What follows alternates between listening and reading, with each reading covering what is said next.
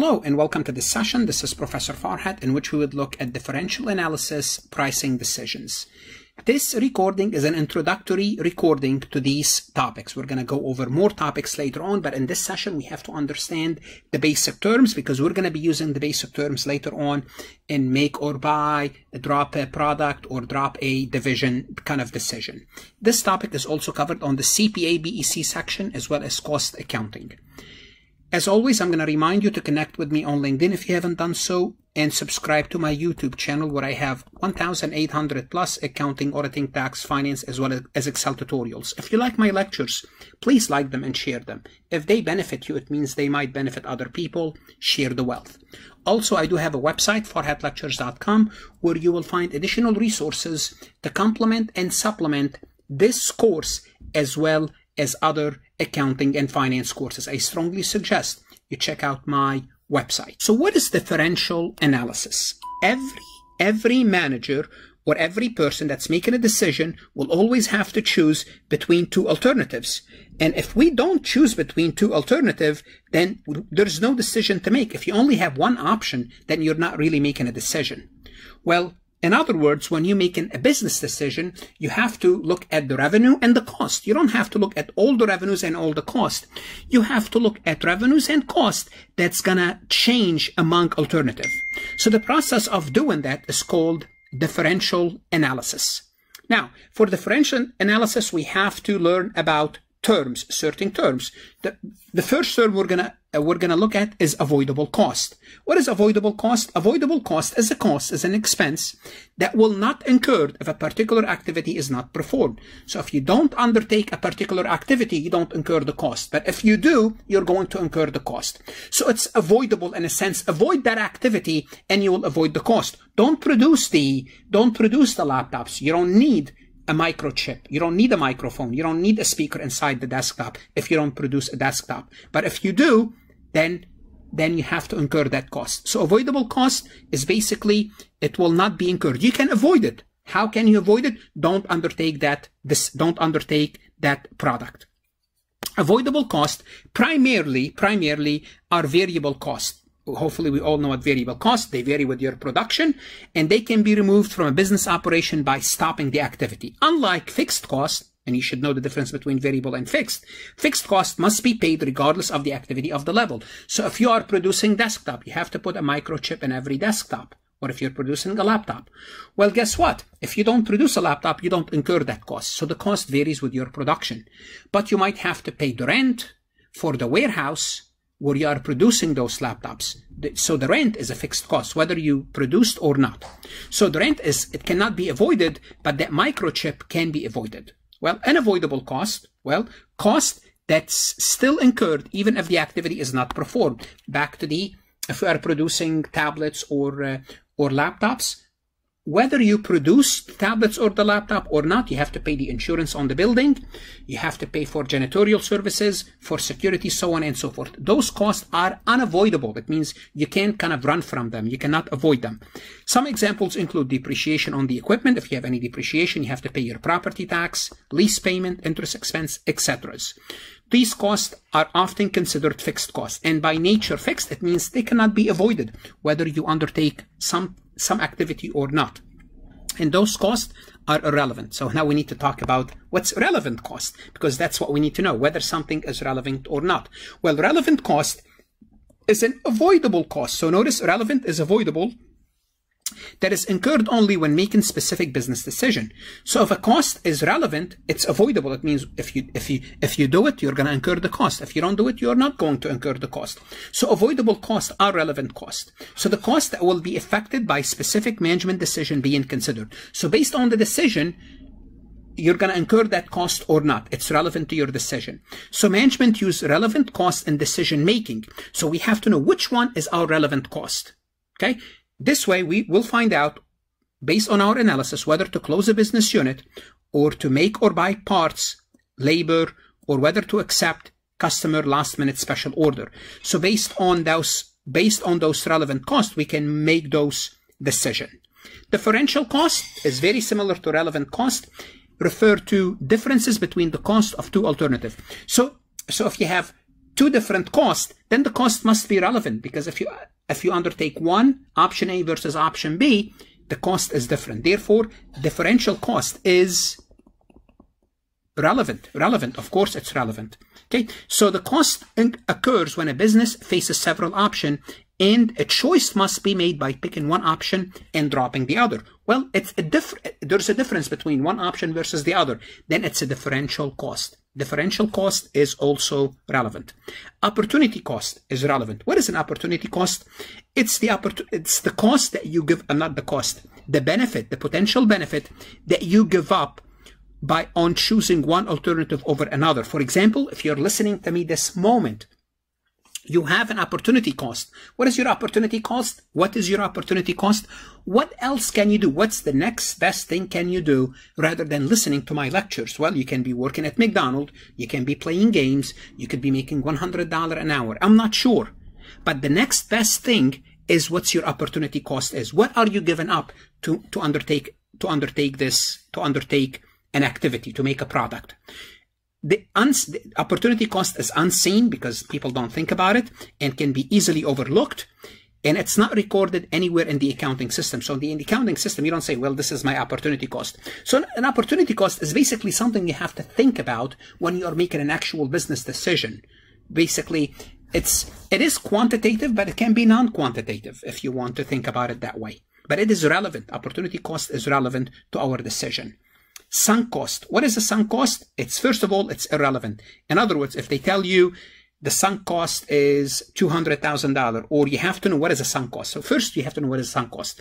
A sunk cost that something already happened, it cannot be recovered. So if you bought a machinery five years ago and you paid for it a trillion dollar, you don't take that into account today. Why? Because the trillion dollar that you paid for it or whatever that amount is, it's not relevant. Why? Because it's already sunk. You cannot recover this. It's like, you know, you can cry about it, but there is nothing can be done. So it's a sunk cost. Sunk costs are irrelevant. Now, if you're going to be selling that uh, uh, machine, that it, it could be relevant under the decision making, but the old cost is irrelevant. So those are basically basic terms that you need to be familiar with. Simply put, you need to know what's relevant. What's relevant? Well, a differential cost, a cost that differentiate between two alternatives is relevant. Avoidable cost is relevant. Opportunity cost is relevant. Why is that important? Because when we're going to be making decisions, we're going to be talking about um, relevant cost, avoidable cost, differential cost, and opportunity cost. They differ between decisions. So how do we make differential analysis? And by the way, about differential costs, we also have differential revenue. So if you're choosing between two alternatives, also you have to look at if they differ in terms of revenue. How do we make differential analysis? First, we, we analyze, look, relevant cost. We don't analyze all the cost and all the revenue. We only analyze relevant cost. That's why you might have a lot of factors, a lot of costs. You only look at the one that differ if two costs are the same, you don't look at them, you don't examine them. You only look at the one that differ. And this is basically simplify the process. Then you compare your analysis to the status quo. You look at what you have now, you analyze the situation, and you would look at what you have currently or what's the other alternative. You examine also non-quantitative factors. I mean, numbers are very helpful, but at the end of the day, you have to make a professional judgment and make a business decision. Then you make your decision. And usually what we're dealing with in cost accounting, we are dealing with pricing decision. So how do pricing decision happen? Well, prices, how do you determine your prices? The main factor is based on supply and demand. That's one of the main factor because if you, if, if there's a lot of supply for a product, and you cannot just say, well, it costs me more than, you know, what I can offer it in the market. If there's a lot of supply, you have to drop your prices. And if you can't compete, you get out.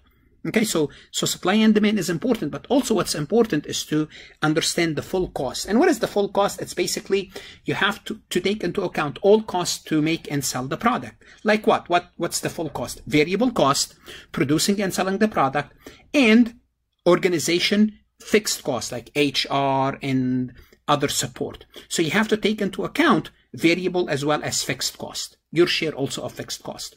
If you remember from the cost volume profit analysis, the full cost per unit is your fixed cost divided by that unit plus your variable cost divided by that unit. So it's your variable cost plus your fixed cost.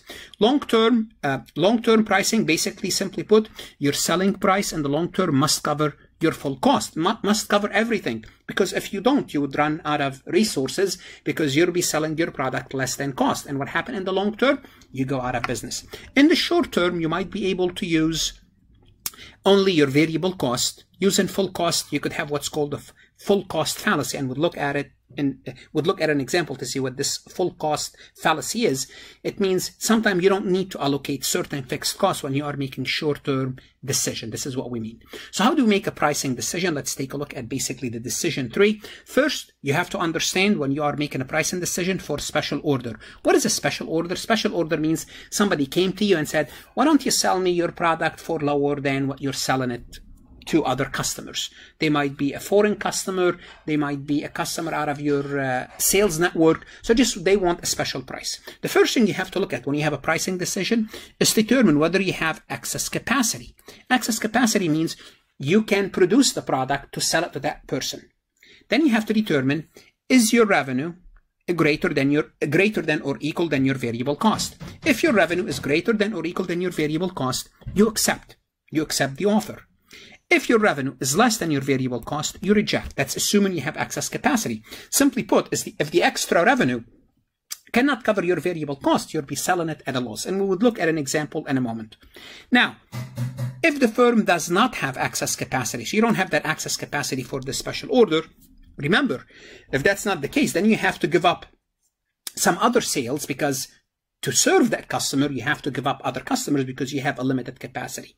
Okay, so accept only if the revenue is greater than the variable cost plus the opportunity cost that you are given up. If that's the case, you will accept. Also, bear in mind special orders also take into account non-quantitative factors such as qualitative factors. You know, what's the importance of this customer? Maybe you are getting into a new a market. We, we always wanted to do that. There's other factors that, that you will have to take into account. And let's take a look at an example to see how this all fits together. During a particular month, UDevelop and receive a special order from an out-of-town merchant who's willing to pay $4,000 for 10,000 photo prints developed, or 40 cents per unit. An analysis of the U-developed cost structure shows that it incurred variable cost, variable cost equal to 36 pennies per print and 1,500 monthly fixed cost. UDevelop can handle the special order without affecting its regular business, aka we have plenty of capacity. Should UDevelop accept or reject the special order and why? Well, let's first, let's take a look at our full cost. If we take into account our full cost, remember, we have to recover our fixed cost plus our variable cost, which is 36 pennies times 10,000 divided by 10,000 unit. Our, our full cost is 51 pennies.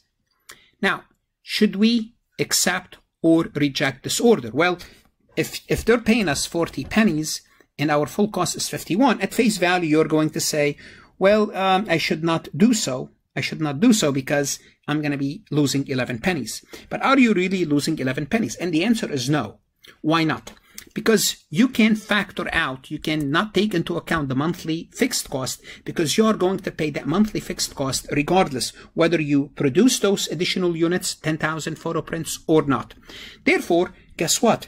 If they're paying you 40 pennies, your cost, your variable cost is only 36 pennies. Therefore, you are making 4 pennies per picture and you will accept because your incremental revenue, the additional revenue, which is 40 pennies, is greater than your variable cost, which is 36 pennies. You have plenty of capacity.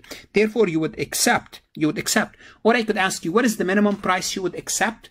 Let's assume I'd say, you know, I did not give you a price of 36. I'd say, what's the minimum price you would accept? I need to cover my variable cost. My variable cost is 36 pennies. Anything 36 pennies or above, I will accept. Let's take a look at another quick example. Let's assume Desert Adventure now offers self-guided tours in addition to its tradi traditional guided tours they started with. So it's basically a tour company. At the current level of activity, the self-guided tour do not affect the company's ability to offer the guided tour. So there's plenty of capacity there. A local museum director asked Desert Adventure about offering discounted self-guided tours to museum members who donate above a certain level, basically part of advertisement. The museum expect that five members will want to do this. They want to take that tour. Desert Adventure has idle capacity adequate for these additional five tours, which will not affect the demand from other self-guided tours. So we have plenty of capacity. The museum di director asked Dianla to offer the members a special price of 700 per, for the tour and a discount off the regular $900. So they usually charge 900 for those self-guided. They say, let's see if we can do a $700. Let's see what we have for now. This is what we have for now. For now, we provide 20 tours at $900. The total revenue is 18,000. The variable cost, including food, labor, and so on, is 320 times 300 is $6,000. The contribution margin is 12,000. We should be familiar with all these computation from the CVP chapter. If not, please go to your CVP lecture. Fixed cost, insurance, depreciation, other costs, 5,400. Operating profit is 6,600. Now we're going to look at the uh, what happened with those five additional at at uh, at $700. This is the status quo, 6,600. Now the alternative is we're going to have revenues of 21,500. Why 21,500? Because to the 18,000, we're going to be adding 3,500. We have five members. In each one, we're going to charge them $500. Total revenue, $21,500. Variable cost will go up because we have five additional members times 300. So we're going to add 1500 to the variable cost. It becomes 7,500. Our new contribution margin is 14,000. Notice fixed cost by nature is fixed. It stays the same. Our operating profit is 8,600. So the difference is in revenue Revenue is a differential revenue. We have a differential cost, and therefore our operating profit will increase by 2,000. Should we accept? Yes, of course we will accept. Another way to do this is we're going to take an alternative way. So uh, to compute this is we're going to have five tours at 700, and the only thing that's going to increase is our variable cost of five tours at 300 so we're going to have revenues of 3500 more expenses of 1500 overall we are 2000 better off we will accept. In the next session, we would look at legal issues relate, relating to cost and sales prices. If you like this recording, please like it and share it. If it benefited you, it means it might benefit other people. And don't forget to visit my website, farhatlectures.com. Study hard, good luck, and of course, stay safe.